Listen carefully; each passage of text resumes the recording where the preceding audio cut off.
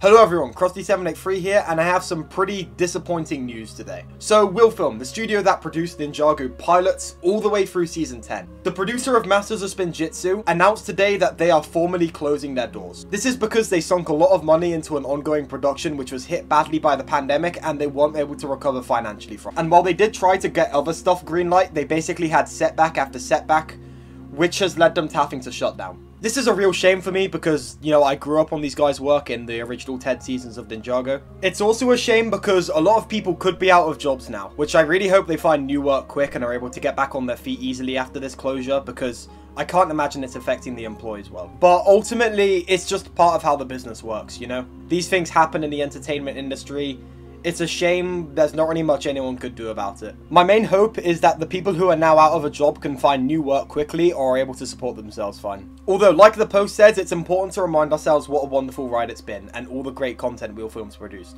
WILFILM helped bring to life some truly wonderful Ninjago seasons, and that will always last, regardless of if the company's gone now. So I just figured I'd make this quick video to keep you guys updated on this. It's a bit of a shame, but that's kind of just how life is sometimes. So yeah, thanks for watching this video, and I will see you in the next one. Goodbye for now.